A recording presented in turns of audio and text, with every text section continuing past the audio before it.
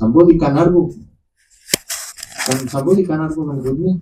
I not accept any question, because was no again, was a wrong. Clear, clear. Yes or no? Okay. If the people, the the the, the, what, the ah, ah, if the people, the Sundowns is happy with that, it's okay. It's okay. But football is not like that. We talking fair play. FIFA talking fair play. I was my second experience in, in, in 2018. I coached in Hassania d'Agadir. I played semi-final, a quarter final against Amalek. We scored one goal. We have the picture as well. Eh, 30 centimeters. But in this time was no bad. I think it's the second time I was robbed.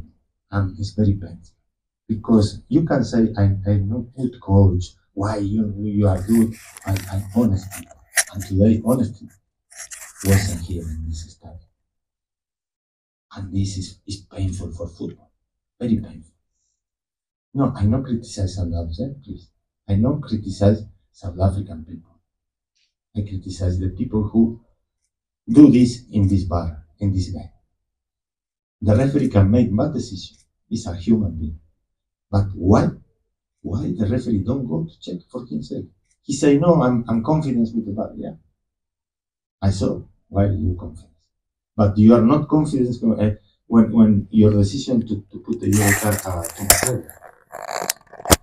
And uh, minimum is 50. But put in the in the scheme the Wananchi. These people is first time qualified in the quarterfinal in Champions League. We deserve at least fighting, fight face to face with a team, the best team in, in Africa. And Robert that.